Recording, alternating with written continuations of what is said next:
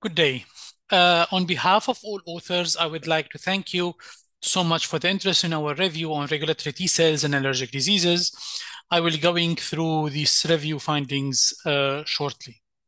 Uh, as an outline of the review, uh, we will go through different aspects, Treg plasticity and subtypes, Treg functions and mechanisms, then Treg cells in food allergy, asthma, and atopic dermatitis.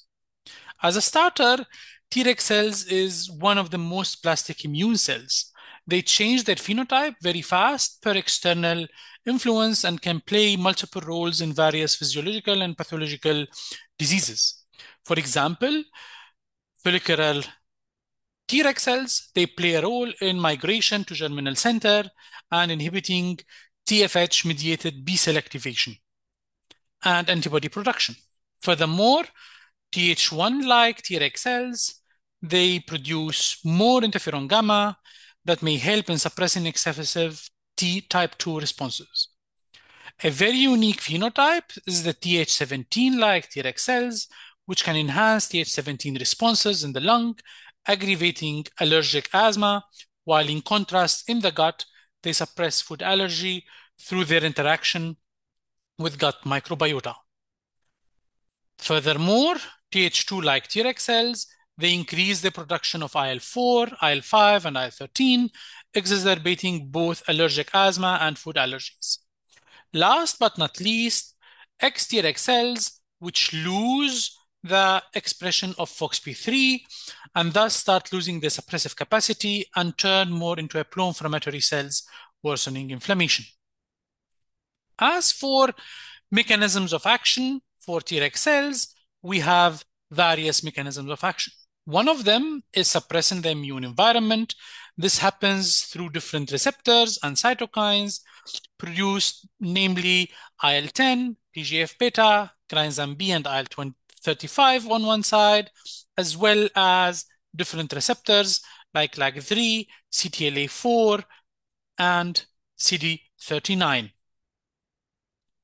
On the other side, Treg cells have been shown to play a pivotal role in tissue repair through various mechanisms like amphiregulin, for example, both in the lungs and in the muscles, uh, ATP conversion to ADP and AMP, and thus to adenosine myocardial infarction, and by Notch signaling in hair follicles.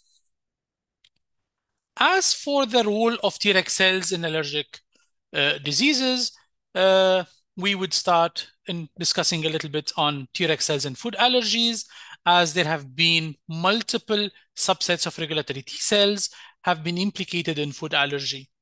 Antigen-specific Treg cells and microbiota induce TROR gamma T Treg cells, which suppress food allergen or food antigen-specific Th2 responses, while follicular regulatory T cells inhibit TFH and anaphylactic IgE responses. Together, these Treg cells promote oral tolerance to food antigens. On the other side, Treg cells play a very central role in asthma pathogenesis and chronification and environmental factors directly influence uh, these changes, air pollution, microbiota, and infections. They influence the TH Treg to TH17 balance through a Notch4 dependent mechanism, as we have shown before. Additionally, mediators such as gut commensals and their metabolites alter Treg homeostasis with potential therapeutic implications in asthma. As for atopic dermatitis, Treg cells are highly enriched making almost 30 to 50% of CD4 cells in the skin of humans and mice. However, the mechanisms remain perplexing. The suppressive ability for Treg cells in the skin is very unique uh, and usually it's defective due to a lower ratio of Tregs to T effector cells.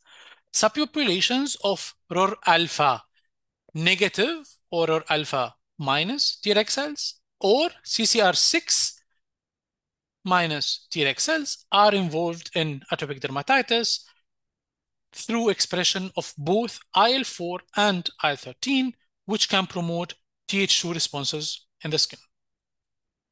In conclusion, Treg cells play a very important role in tissue tolerance and healing processes, and they are an important target for future therapies. I wish you a great read and our comprehensive review. Thank you so much.